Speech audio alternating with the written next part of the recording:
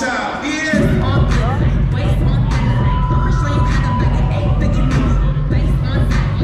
Ora sono dentro, ma ancora che tu è